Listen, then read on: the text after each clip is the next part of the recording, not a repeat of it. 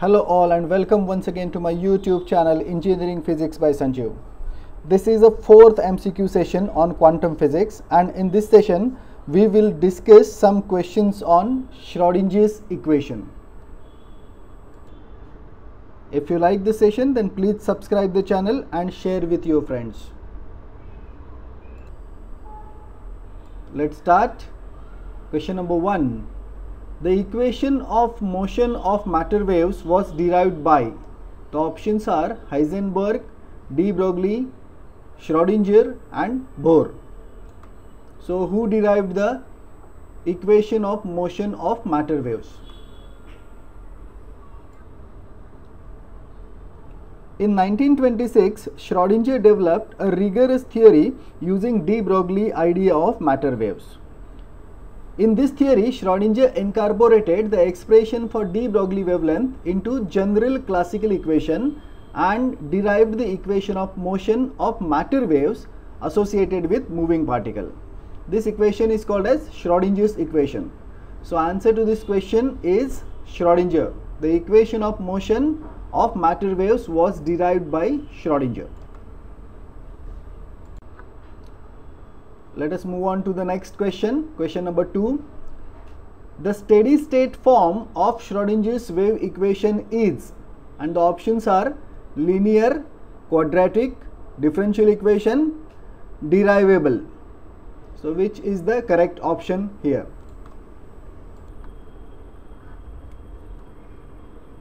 The steady state Schrodinger's wave equation is a linear in the wave function psi.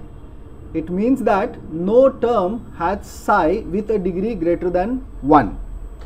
It also means that if two wave functions psi 1 and psi 2 are solutions then any linear combination of psi 1 and psi 2 is also a solution. So, the steady state form of Schrodinger's wave equation is linear. Question number 3. One dimensional time dependent Schrodinger wave equation is written as and these are the options given. So, which is the correct option?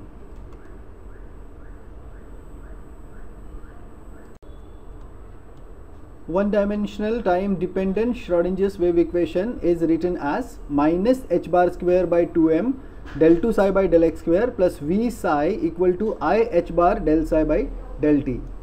So here B is the correct option here. One dimensional time dependent Schrodinger's wave equation is written as minus h bar square by 2m del 2 psi by del x square plus v psi equal to i h bar del psi by del t.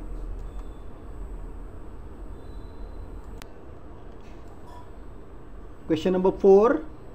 The values of energy for which Schrodinger's steady state equation can be solved are called as and the options are eigenvectors, eigenvalues, eigenfunctions, operators.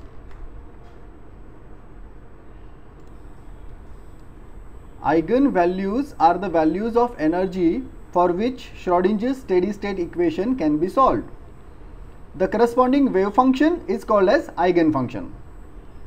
So the values of energy for which Schrodinger's steady state equation can be solved are called as eigenvalues.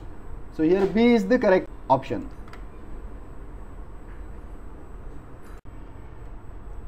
Let us move on to question number 5. If psi 1 and psi 2 are two solutions of Schrodinger wave equation, then which of the following is also a solution? The options are psi 1 by psi 2, psi 1 into psi 2, psi 2 by psi 1 or psi 1 plus psi 2. So, which of these four options is the correct option?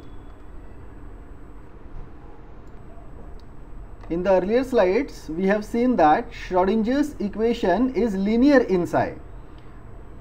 That is, the addition of two solutions of the equation is also a solution of the same equation. It means the wave function must obey the principle of linear superposition. So here if psi 1 and psi 2 are two solutions of Schrodinger wave equation then psi 1 plus psi 2 is also a solution of Schrodinger's wave equation. So D is the correct option here. Question number 6. For a quantum wave particle, energy E is equal to and the options are h bar k, h bar omega, h bar omega by 2, h bar k by 2. So which one is the correct option here? We know E is equal to h nu where h is Planck's constant and nu is frequency of radiation. Let us multiply and divide by 2 pi. So we get h upon 2 pi into 2 pi nu. h upon 2 pi can be written as h bar and 2 pi nu can be written as omega, the angular frequency. And therefore we can write E is equal to h bar omega. So here B is the correct option. For a quantum wave particle, energy E is equal to h bar omega. Question number 7. For a quantum wave particle, momentum P is equal to and the options are h bar k, h bar omega, h bar omega by 2, h bar k by 2. So this is a similar question like earlier one. To solve this, we can write de Broglie hypothesis lambda is equal to h upon p and therefore p is equal to h upon lambda. Here also let us multiply and divide by 2 pi. So we get h upon 2 pi into 2 pi by lambda. h upon 2 pi is h bar and 2 pi by lambda is k, the propagation constant. And therefore we can write p, momentum p is equal to h bar k. So here A is the correct option. For a quantum wave particle, momentum p is equal to h bar k.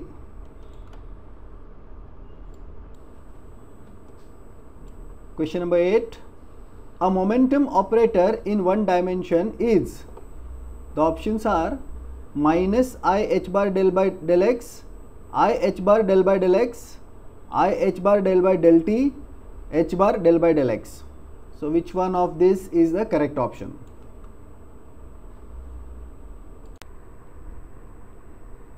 To get an answer to this question, let us consider a wave function psi equal to psi naught e raised to i kx minus omega t. And let us try to calculate minus h bar square by 2m del 2 psi by del x square. So this psi can be replaced by psi naught e raised to i kx minus omega t. And when we differentiate this with respect to x two times we will get it as minus h bar square by 2m this is a constant.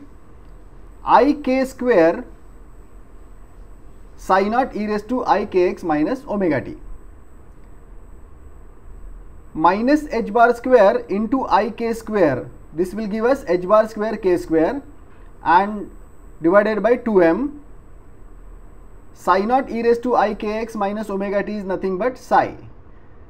So when we try to calculate minus h bar square by 2m del 2 psi by del x square we get h bar square k square by 2m psi.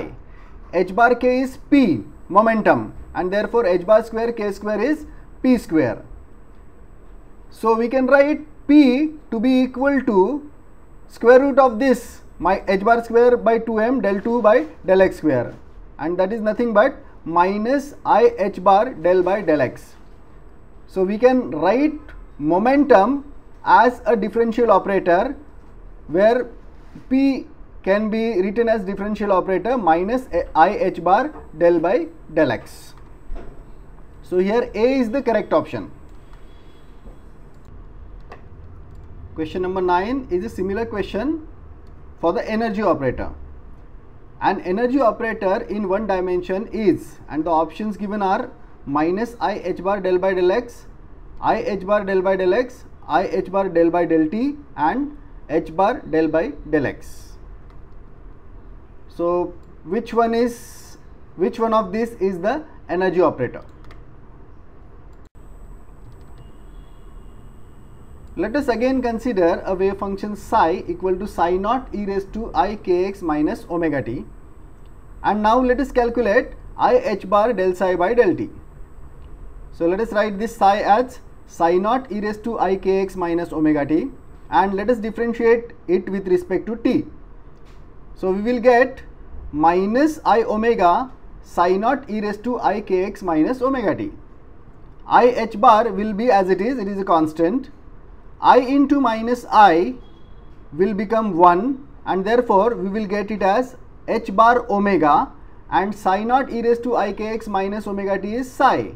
So i h bar del psi by del t can be written as h bar omega psi and h bar omega is nothing but E, the energy operator. So we can write E to be equal to I h bar del by del t. So here C is the correct option. An energy operator in one dimension is I h bar del by del t.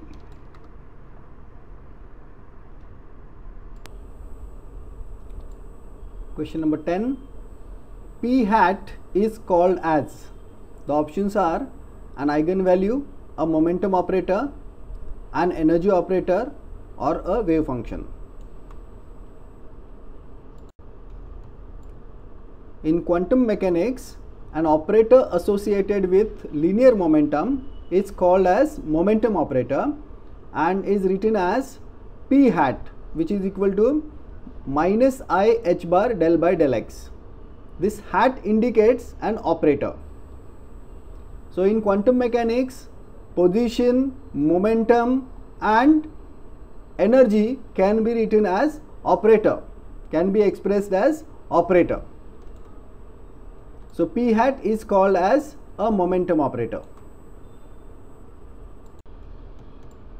Question number 11. E hat is called as and the options are an eigenvalue, a momentum operator, an energy operator, a wave function. E hat is called as an energy operator and it is given by E hat equal to I h bar del by del t. Again here hat indicates an operator.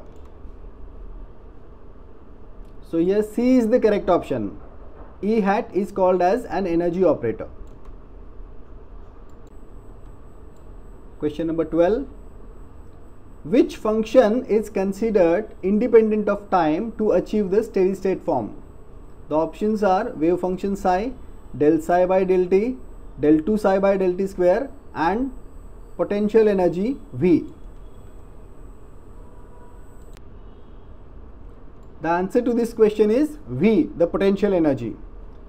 To achieve steady state form of Schrodinger's equation, the potential energy of the particle is considered to be independent of time explicitly and hence the potential energy V vary with position only. So here the correct answer is D potential energy. Let us move on to the next one question number 13. According to quantum mechanics a free particle can possess the options are discrete energies continuous energies, single value of energy and zero energy. Which one is the correct option?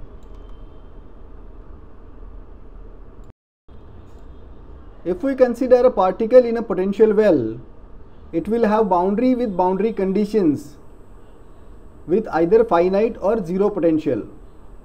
Such particle will have quantized energies and therefore discrete energies. But a free particle moves in a space without any restriction in zero potential. So such free particle will have continuous energy. So according to quantum mechanics, a free particle can possess continuous energies.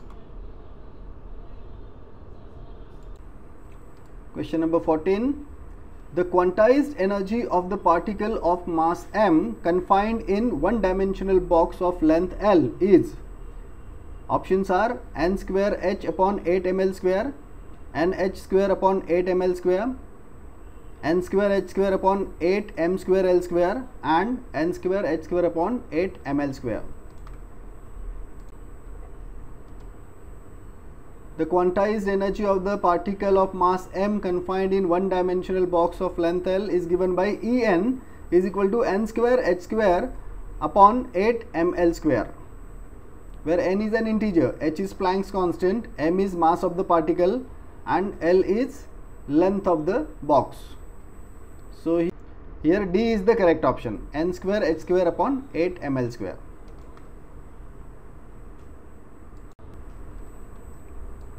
Question number 15. The lowest energy state of the particle of mass m confined to a linear box of width L is. These are the options given. So, which one is the correct option? In the last question, we have seen the quantized energy of the particle of mass m confined in one dimensional box of length L is given by En is equal to n square h square upon 8 ml square.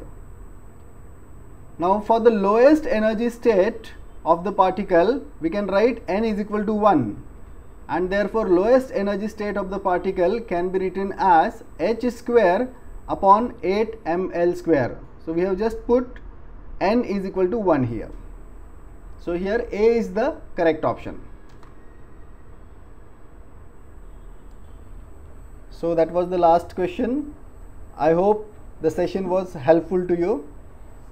If you like the session then please subscribe to the channel and don't forget to share it with your friends. Thank you. Thank you once again.